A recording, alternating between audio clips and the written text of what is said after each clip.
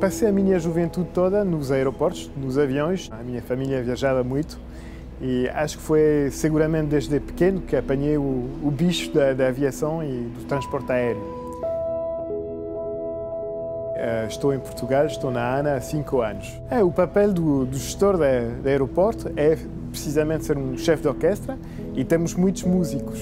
Temos uh, as companhias aéreas, temos os handlers, temos o serviço de controle uh, nas fronteiras, temos a polícia, as pessoas que fa fazem o fornecimento dos combustíveis, temos pessoas que tratam das bagagens, enfim, temos uma comunidade aeroportuária muito uh, ampla, muito grande e cada músico da nossa, uh, do nossa orquestra tem que uh, tocar bem a sua partição própria.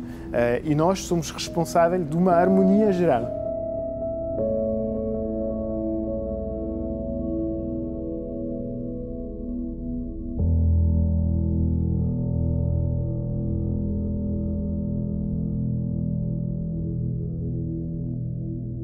Minha paixão pela aviação começou desde muito cedo, quase que de berço, eh, sendo que o meu primeiro bolo de aniversário até era um avião. Esta paixão foi-me transmitida pelo meu pai, também desde criança, eh, e eu também moro aqui relativamente perto do aeroporto de Lisboa, desde criança que via os aviões a aterrar, a descolar, e sempre quis fazer parte desta área que eu adoro, que é a aviação e o aeroporto.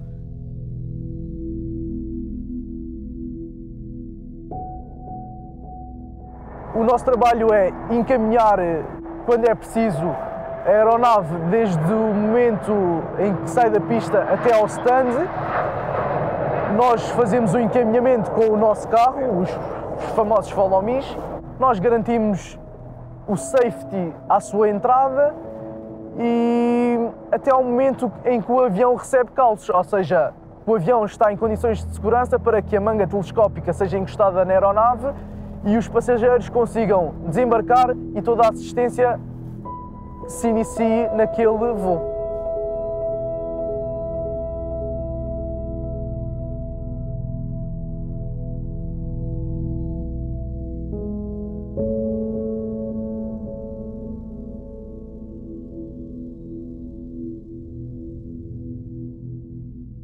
Olá, meu nome é Nuno Silva, sejam bem-vindos ao Aeroporto do Porto. Eu trabalho na ANA desde 2002. Eh, as minhas funções trabalham para a parte de serviço de operações aeroportuárias e desempenho as funções de assessoria operacional. O aeroporto vive das companhias e dos, dos e de todas as entidades que trabalham cá dentro. E uma das, eh, das tarefas que temos e que tenho regularmente é realmente lidar com eles e poder eh, dar resposta às suas solicitações. Nós continuamos a trabalhar da mesma forma honesta, humilde e profissional como sempre o fizemos isso permite-nos estar próximos uns dos outros, uh, encarar cada desafio como um novo desafio, mas encontrar a melhor solução possível num curto espaço de tempo. Os passageiros continuam a chegar e a partir uh, com satisfação. Isso a prova é o último prémio que recebemos agora recentemente, de ser um dos melhores aeroportos da Europa na categoria dos 5 aos 15 milhões de passageiros, que é para nós uh, um fator de orgulho.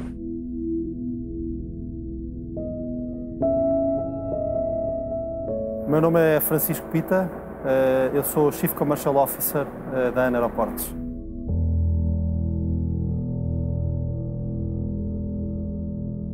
Vim para a ANA porque concorri a um anúncio no jornal eh, e depois de um processo de entrevistas e por aí fora, consegui chegar à ANA, que era um sonho que tinha. Estou na ANA desde, desde 2001. Um dos trabalhos mais importantes que a ANA realiza é exatamente uh, o trabalho de proximidade e de relacionamento com as companhias aéreas.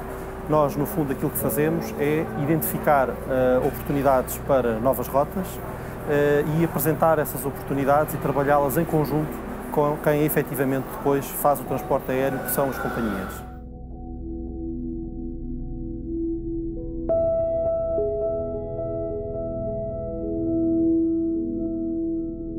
A qualidade de serviço prestamos aos passageiros é para nós muito importante.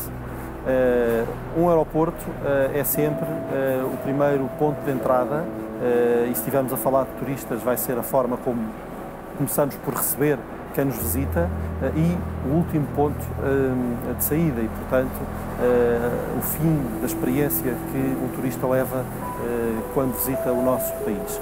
E por isso mesmo queremos que tudo corra bem, desde o início até ao fim da visita.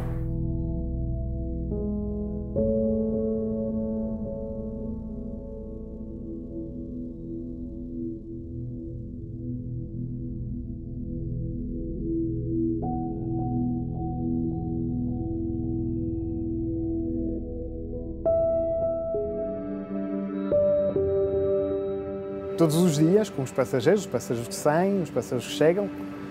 Há passageiros que uh, riam, outros que choram. Um, finalmente, o aeroporto tem um centro de emoções. Um, e nós organizamos a logística, finalmente, à volta destas emoções.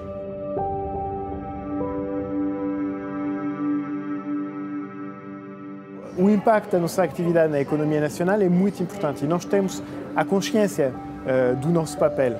Um, sobretudo em Portugal, porque Portugal é uma região ultraperiférica da Europa e 95% dos passageiros chegam em Portugal de avião. 95% eh, dos turistas chegam a Portugal de avião.